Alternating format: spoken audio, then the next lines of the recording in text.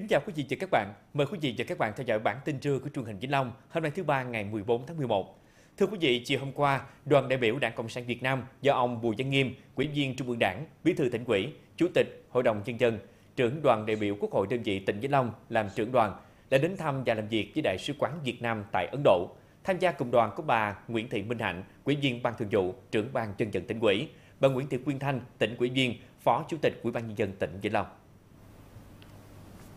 Tại buổi làm việc, ông Nguyễn Thanh Hải, đại sứ Việt Nam tại Ấn Độ rất vui mừng và phấn khởi khi đón tiếp đoàn, đồng thời cung cấp một số thông tin về tình hình hoạt động của Đại sứ quán Việt Nam tại thủ đô New Delhi. Trong đó khẳng định mối quan hệ hai nước Ấn Độ và Việt Nam đã và đang phát triển tốt đẹp trong tất cả các lĩnh vực, Kể từ khi thiết lập quan hệ ngoại giao năm 1972 và nhất là từ khi nâng cấp thành quan hệ đối tác chiến lược toàn diện năm 2016 đến nay, quan hệ hai nước Việt Nam và Ấn Độ đã gặt hái được nhiều thành tựu to lớn. Lòng tin chiến lược không ngừng được củng cố qua sự hợp tác của các ngành, các địa phương và trao đổi tiếp xúc thường xuyên giữa lãnh đạo cấp cao.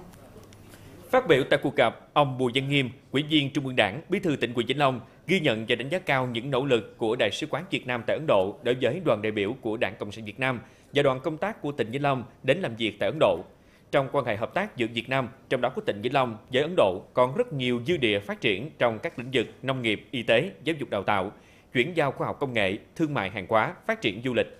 Do đó, mong muốn Đại sứ quán Việt Nam tại Ấn Độ tiếp tục là cầu nối hỗ trợ các doanh nghiệp Việt Nam, trong đó có Vĩnh Long, kết nối tốt với các đối tác Ấn Độ, góp phần tiêu thụ nông sản, thúc đẩy xuất khẩu hàng hóa vào thị trường này.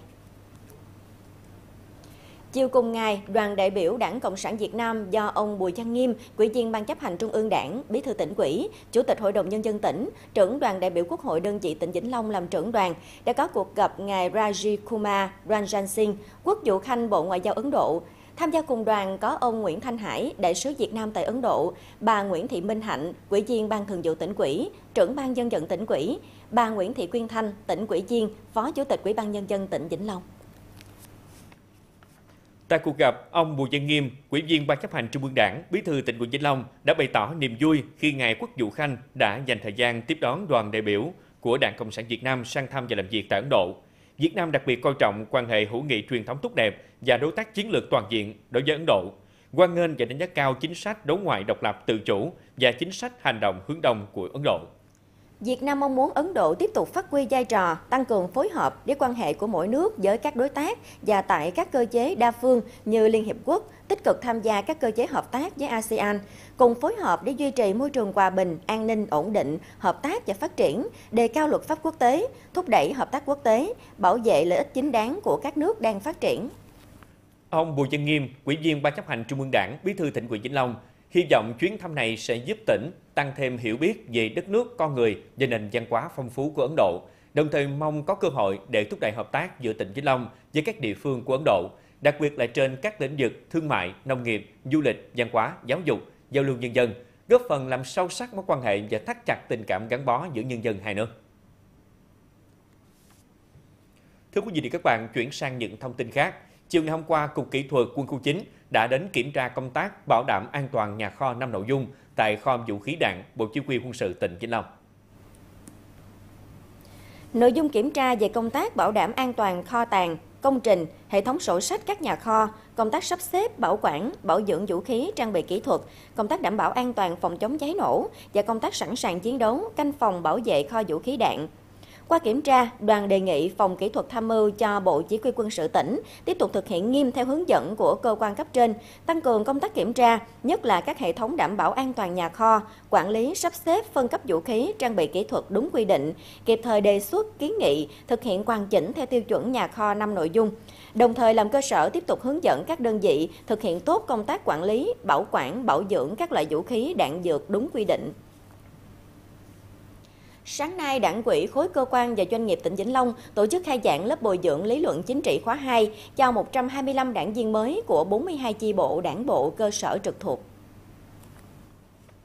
Trong thời gian hơn 5 ngày, các đảng viên dự bị được trang bị 10 chuyên đề về chủ nghĩa Mác Lênin, tư tưởng Hồ Chí Minh, nền tảng tư tưởng, kim chỉ nam cho hành động của Đảng và cách mạng Việt Nam, độc lập dân tộc gắn liền với chủ nghĩa xã hội và con đường đi lên chủ nghĩa xã hội ở Việt Nam, phát huy sức mạnh đại đoàn kết toàn dân tộc dân chủ, xã hội chủ nghĩa, xây dựng và hoàn thiện nhà nước pháp quyền xã hội chủ nghĩa.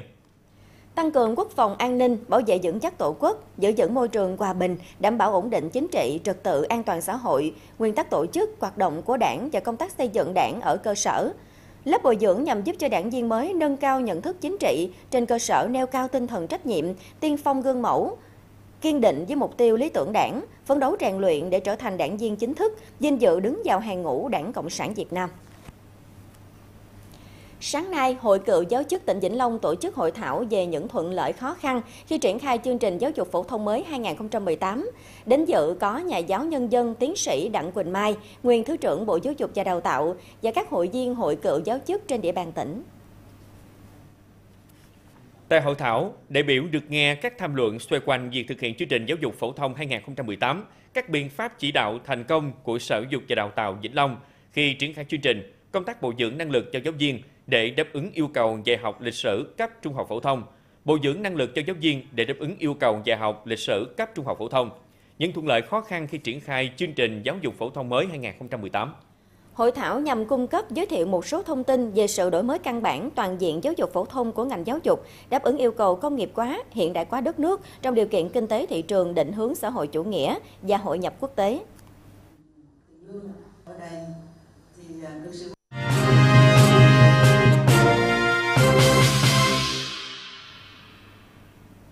Ủy ban Nhân dân tỉnh Vĩnh Long vừa có công văn chỉ đạo các sở ngành, các địa phương thực hiện tốt công tác cải cách thủ tục hành chính, cải thiện môi trường kinh doanh tại địa phương theo chỉ đạo của chính phủ. Theo đó, Ủy ban Nhân dân tỉnh chỉ đạo thủ trưởng các sở ban ngành tỉnh, chủ tịch Ủy ban Nhân dân các huyện, thị xã, thành phố tập trung rà soát, cắt giảm đơn giản hóa quy định thủ tục hành chính liên quan đến hoạt động đầu tư, sản xuất, kinh doanh và đời sống người dân, bảo đảm cắt giảm đơn giản hóa ít nhất 20% số quy định và cắt giảm ít nhất 20% chi phí theo chỉ đạo của chính phủ, nghiên cứu đề xuất cắt giảm ngay các thủ tục không cần thiết, các điều kiện kinh doanh trồng chéo, tăng cường tham mưu phân cấp quỹ quyền, phân bổ nguồn lực trong thực hiện thủ tục hành chính, tiếp tục tái cấu trúc quy trình, cung cấp dịch vụ công trực tuyến theo hướng lấy người dùng làm trung tâm, tránh hình thức không thực chất, không hiệu quả thực hiện công khai, minh bạch, chính xác, kịp thời thông tin về thủ tục hành chính và quá trình tiếp nhận, giải quyết thủ tục hành chính để người dân doanh nghiệp tiếp cận, theo dõi, giám sát, đánh giá trong quá trình tổ chức thực hiện thủ tục hành chính. Ngoài ra, Ủy ban nhân dân tỉnh cũng yêu cầu tăng cường trách nhiệm, thực hiện tốt công tác tiếp nhận, xử lý phản ánh, kiến nghị về quy định hành chính để kịp thời xử lý các khó khăn vướng mắt bất cập cho người dân doanh nghiệp. Sáng nay, Văn phòng điều phối chương trình nông thôn mới tỉnh Vĩnh Long tổ chức đoàn khảo sát phúc tra đánh giá kết quả thực hiện các tiêu chí nông thôn mới tại xã Mỹ An, huyện Mang Thích. Là xã điểm của tỉnh phấn đấu về đích xã nông thôn mới trong năm 2023. Từ đầu năm đến nay, Ban chỉ đạo xây dựng nông thôn mới xã đã tập trung chỉ đạo để nhanh tiến độ xây dựng nông thôn mới trên địa bàn. Kết quả đến nay, xã đã đạt 17 trên 19 tiêu chí nông thôn mới.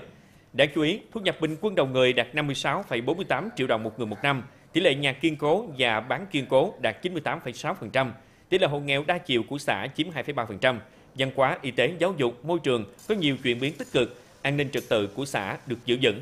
Đoàn khảo sát đã thực tế kiểm tra đánh giá các tiêu chí giao thông, trường học, môi trường và tiêu chí thu nhập trên địa bàn xã. Đây là cơ sở để văn phòng điều phối chương trình nông thôn mới tỉnh có những giải pháp thiết thực giúp địa phương khẩn trương hoàn thiện các tiêu chí gần đạt để sớm được công nhận xã nông thôn mới.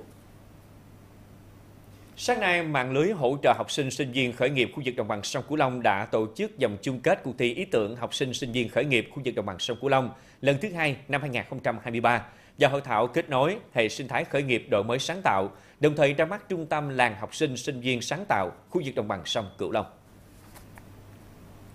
Đây là cuộc thi có quy mô lớn với hơn 30 trường đại học cao đẳng và hàng trăm trường trung học phổ thông trong khu vực đồng bằng sông Cửu Long tham gia, tạo điều kiện giúp học sinh sinh viên vận dụng kiến thức đã học vào thực tiễn, hướng học sinh sinh viên tìm hiểu về kinh doanh, có cơ hội trải nghiệm thực tế, xây dựng ý tưởng và tìm ra con đường lập nghiệp trong tương lai. Cuộc thi đã thu hút 93 ý tưởng của gần 300 sinh viên học sinh tham gia. Qua dòng sơ loại, ban giám khảo đã chọn ra 80 ý tưởng tham gia dòng đào tạo để hoàn thiện và chọn top 30 ý tưởng bạn sinh viên và top 17 ý tưởng bạn học sinh tham gia tại vòng chung kết này. Tại đây, các đội tham gia hai vòng thi, thuyết trình và hội đáp. Ban giám khảo sẽ dựa trên các tiêu chí về ý tưởng, đội nhóm, sự khác biệt, kết quả tiềm năng, ảnh hưởng, điểm bình chọn, điểm trưng bày để tìm ý tưởng xuất sắc nhất trao giải. Việt Nam hiện có khoảng 7 triệu người mắc đái tháo đường, trong đó thì hơn 55% bệnh nhân đã có biến chứng và đáng lo ngại là tình trạng bệnh ngày càng trẻ hóa.